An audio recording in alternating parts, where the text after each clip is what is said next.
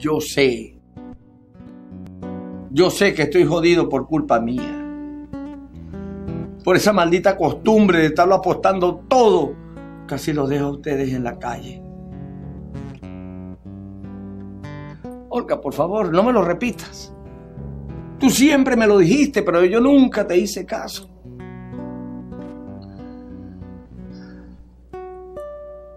Pero quiero decirte que yo estoy arrepentido. De verdad, muy arrepentido. ¿Mm? Mi vida.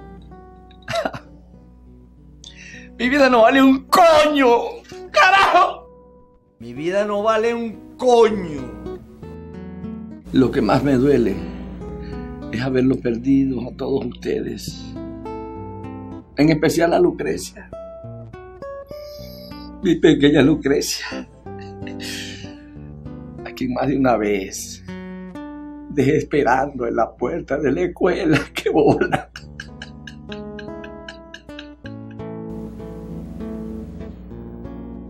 ¿Y tú? Rogelio Junior. Mi primer varón, el primogénito. ¿Sabes? Siento mucho no haberte dicho nunca que eras mi mayor orgullo. Estoy seguro que ni siquiera te diste cuenta de que no fui a tu graduación. ¿Sabes por qué no fui? Que no me dio la gana.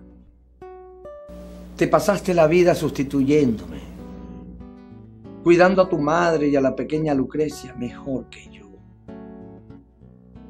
¿Cómo podría reprocharte? ¿Cómo podría hacerlo si nunca te apoyé para que lograra tus sueños? Menos mal que pudiste salir adelante sin mí.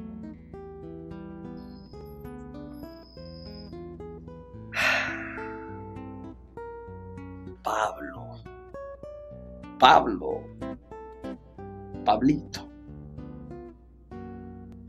Eras tremendo pitcher hasta que empezaste a, a copiar el malos pasos.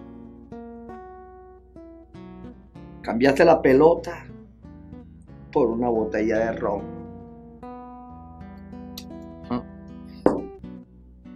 Y yo sin poder hacer nada.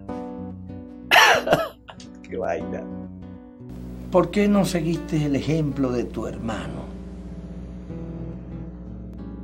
Tenías que seguir el mío. Sí, yo sé que siempre estuviste celoso porque la pequeña Lucrecia era mi preferida.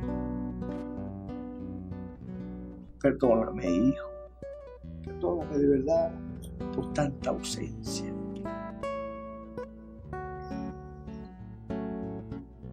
Pero en este mundo, descarriados somos y en el camino andamos.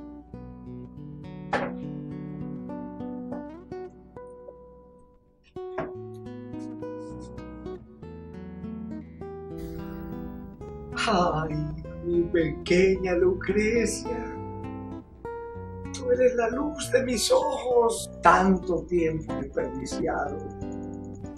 Y te das cuenta que la vida no te da segunda oportunidad. Pero ¿por qué tú? Perdón, hijita.